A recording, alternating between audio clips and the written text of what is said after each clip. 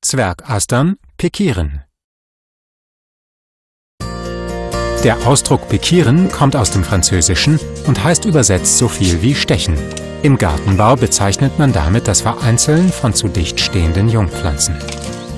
Am besten eignen sich zum Umsetzen Pflanztöpfe mit einem Durchmesser von 9 bis 12 cm. Als Pflanzsubstrat ist Anzuchterde empfehlenswert, sie ist nährstoffarm, hat eine feine Struktur sowie eine gute Strukturstabilität. Füllen Sie die Anzuchterde in die Töpfe und drücken Sie diese mit den Fingern oder mit einem kleinen Holzbrett fest, um eventuell vorhandene Hohlräume zu schließen.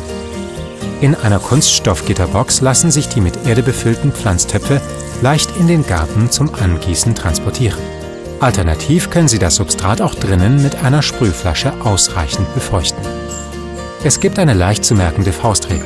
Sobald sich die ersten Blattpaare ausgebildet haben, kann mit dem Pikieren begonnen werden. Meist sind die Zwergastern dann wenige Zentimeter hoch. Mit Hilfe des Pikierstäbchens können Sie aus der Anzuchtschale eine einzelne Jungpflanze entnehmen.